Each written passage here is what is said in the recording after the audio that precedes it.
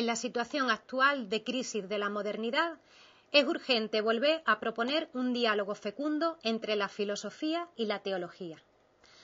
Hola amigos, esto lo ha dicho Benedicto XVI a los participantes del sexto simposio europeo de profesores universitarios, venido de 26 países europeos. El Papa afirmó que la actual crisis de la modernidad no es sinónimo de declive de la filosofía, sino que al contrario, la filosofía debe empeñarse en un nuevo camino de búsqueda para comprender la verdadera naturaleza de esta crisis. El deseo de plenitud de la humanidad no puede ser desoído, necesita propuestas adecuadas.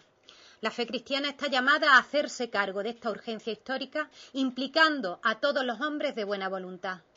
El nuevo diálogo entre la fe y la razón no puede darse en los términos y en los modos en que se desarrolló en el pasado.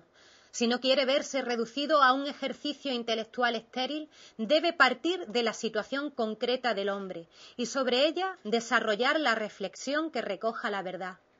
La modernidad, si se comprende bien, revela una cuestión antropológica que se presenta de una manera mucho más compleja de lo que preveían las reflexiones filosóficas de los últimos siglos, sobre todo en Europa. No se trata de un mero fenómeno cultural, sino que implica una más exacta comprensión de la naturaleza del hombre.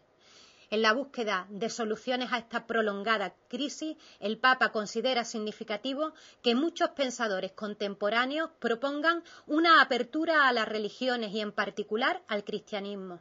Es un signo evidente del deseo sincero de sacar a la reflexión filosófica de la autosuficiencia y nos recuerda que en el cristianismo hizo desde los albores de la historia una elección clara entre el pensamiento mítico y la filosofía a favor de la filosofía, que se revela plenamente actual en el contexto histórico-cultural que estamos viviendo. Nada más, amigos. Te espero mañana en Dios Existe V.